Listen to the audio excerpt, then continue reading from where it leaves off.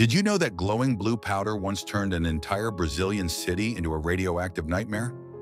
In 1987, two scrap dealers in Goiânia broke into an abandoned medical clinic and found what they thought was treasure.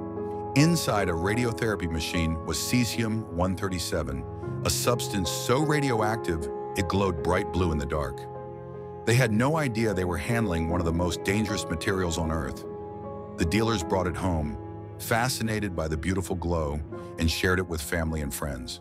Children played with the glowing dust like it was magical fairy powder. Adults smeared it on their skin as body paint for parties, thinking it was harmless fun. Within days, people started vomiting blood, and their skin began peeling off in sheets. Hair fell out in clumps as radiation burns ate through their bodies. The contamination spread so far that entire neighborhoods had to be demolished.